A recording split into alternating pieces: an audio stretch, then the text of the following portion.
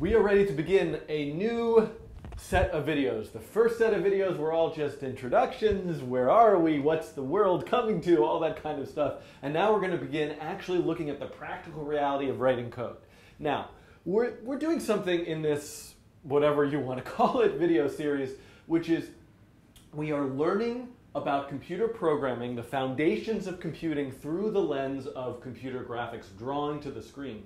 So actually in this very first video in this series of a bunch, we're not going to write instructions just yet. We're going to begin by just feeling comfortable, getting together, having a moment, and understanding what it means to draw pixels to the screen. What is the coordinate system of the screen? What does it mean to draw a point, a line, a rectangle? How do we actually put stuff onto that computer window? So this should be a short video. We're going to do this video first, then we'll actually look at opening up processing, how processing works, and writing code to implement our drawings. Well, then we'll add color and do all sorts of other stuff as well. So, um, what's the beginning? What's the first thing that we need to understand? When we write our first processing program, which maybe we'll eventually call a sketch, uh, um, what happens is a window opens. And here is what happens. We can represent this window by drawing a rectangle over here. This is our computer graphics window. All of the instructions we write as we learn about all this stuff about foundations of computation. We're going to write instructions that are going to draw stuff to the screen.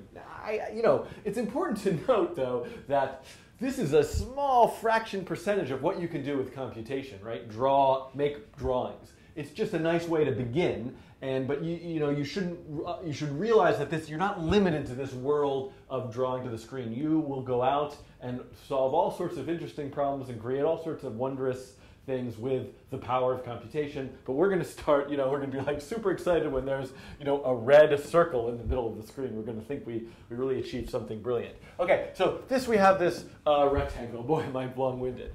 Um, you might have one time in your life taken a math course, a geometry course, some sort of course where you drew something that looked like this.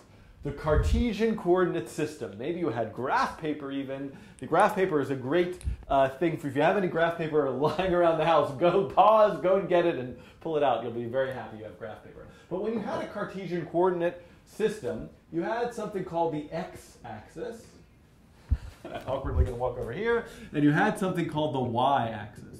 And then we could say like, oh, look, there's a point over here. What is that point? Maybe it's one, two, three, four, five, one, two, three, four, and we're going to say, it's, hey, it's five comma four, meaning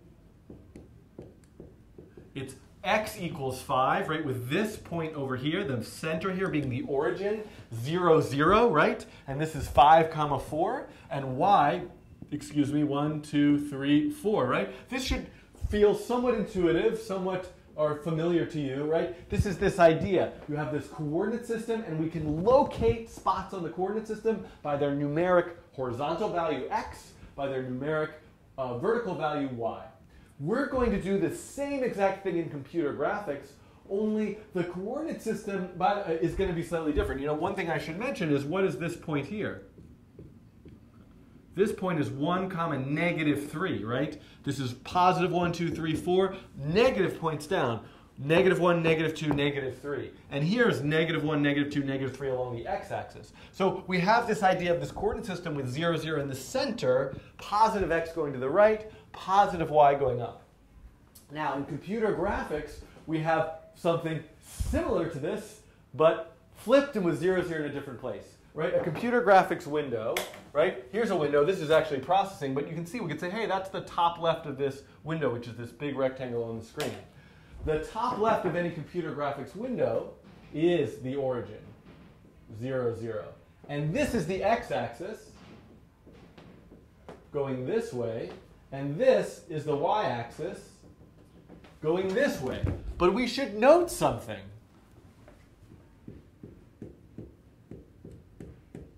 What is this point? This is the point 5 comma 4, right? It's, it's, this was 5 comma 4 in this co coordinate system. This is 5 comma 4, 1, 2, 3, 4, 5, 1, 2, 3, 4 in this coordinate system. Y is positive pointing down, X is positive pointing to the right. ah, what's why? I mean, I, I don't know. I feel very, I feel at ease with this, but I don't know if this makes you uncomfortable or it's just like, oh my god, I can't believe you're still talking about where the 0.5 comma 4 is. But um, what we should note here is it doesn't make sense to have negative pixels, right? So all of the pixels within our window are positive numbers. There's, no, there's no such thing as a negative pixel. Now, of course, all of this could be is going is going to change as we look at more advanced environments. There are certainly ways when we get into 3D where 0, 0 you want to consider at the center. There are all sorts of reasons why you might consider negative numbers versus positive numbers. But we're starting at a very simple, nice, friendly, happy-go-lucky place where we just have 0, 0 in the top left, positive x to the right, positive y going down. Now, you might be wondering, boy, you took a very long time to explain that. And uh, I'm not sure why I did, but hopefully that was helpful. Um, so, but the reason why we really need to be comfortable with this is because as we start to write instructions to draw to the screen, the way we're going to say, hey, write, put a rectangle here at this xy location with this width in pixels, with this height in pixels. Draw a line from this xy to this xy location. So this idea of being comfortable with an x-axis, a y-axis, and the kind of scale of pixels is important to realize. Now, um, let's take this, I have an eraser somewhere. Let's take this a few steps further. Now that we're comfortable with our coordinate system, let's start to understand how we might write an instruction, right? We want to draw to the screen. How might we write an instruction to draw to the screen?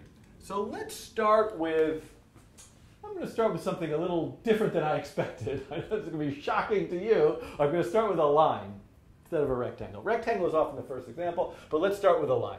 So let's say here is our window. And the other thing about a window, we need to define, any window, we need to define a width and a height. So let's say, um, I think most of the processing examples tend to start with a width of 640 pixels and a height of 360 pixels. So this is drawn relatively to scale. So that's all another thing you want to realize. If this is 0, 0 in the top left, what is this pixel in the middle? It would be halfway to 640, which if we could do that math in our head, uh, 320. Halfway right down with 360 at the bottom, comma 180 right? So this is what we need to start getting used to this idea of scale, right? We're not thinking of, well, it's two meters to the wall or three feet this way. We're always going to be thinking in pixels.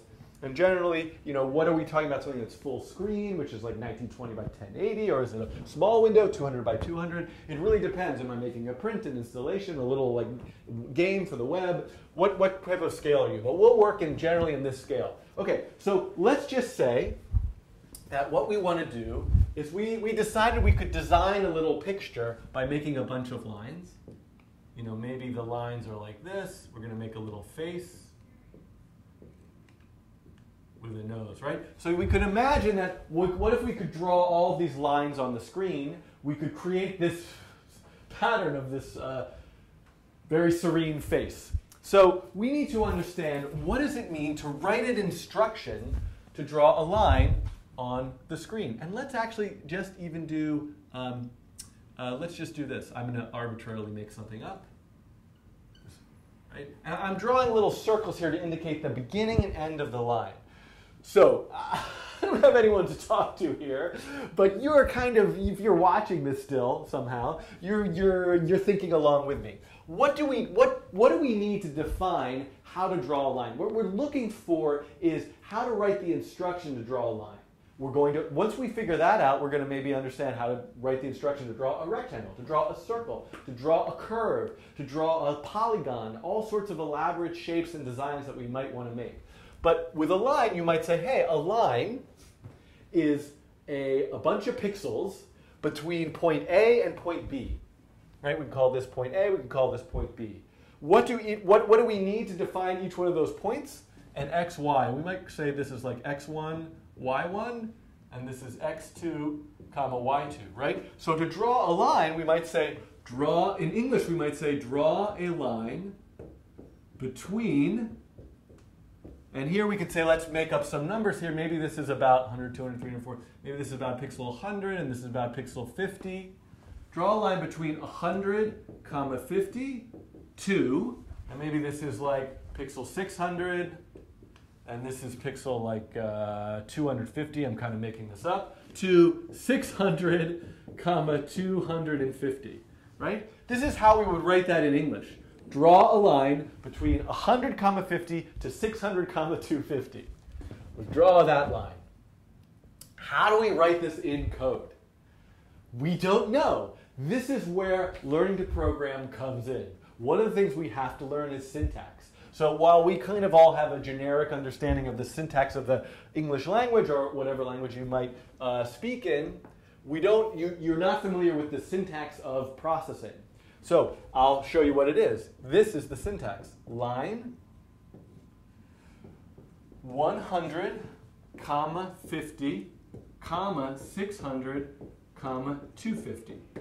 So here you go. This is our first line of code that we are ever writing in our entire lives for dramatic effect. We're saying line, parentheses, a number, comma, another number, comma, another number, comma, another number, parentheses, and semicolon. And in fact, this is where we begin.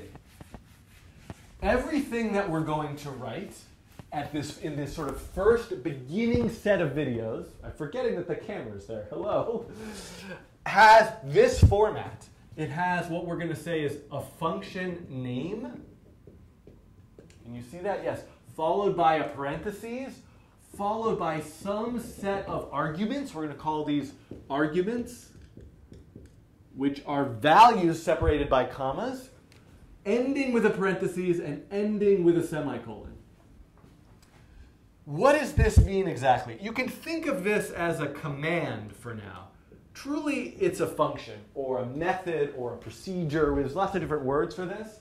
Function, I think, will be the word that we use continuously. But we can think of this as a command. I command you to draw a line. Arguments are the parameters that define how we're going to execute that command.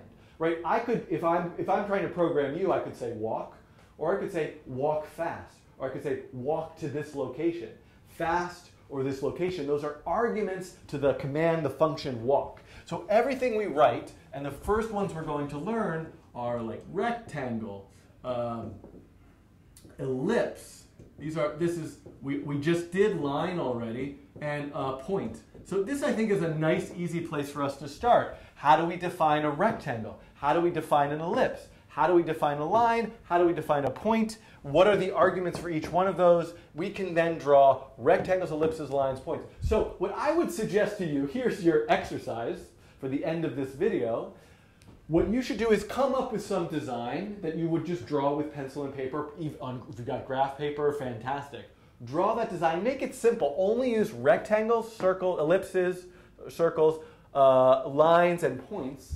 And then try to guess what would the instructions look like with this kind of syntax. What would the what the arguments make sense for drawing a rectangle? Hint: the location, width, and height. what arguments make sense for an ellipse? For a line, for a point. Try to come up with something, and in the next video, we're going to start seeing the answers to some of these questions. We're going to start putting this code into processing, executing it, and seeing our first programs run. I don't know. I forgot to set a timer, so I don't know how long this was, but I was hoping it was just about five or six minutes, and you're probably looking down, it's like 20 minutes long or something. Anyway, um, I will see you in the next video if you choose to watch, which is totally reasonable. If you don't, I would completely understand. Okay? Thank you.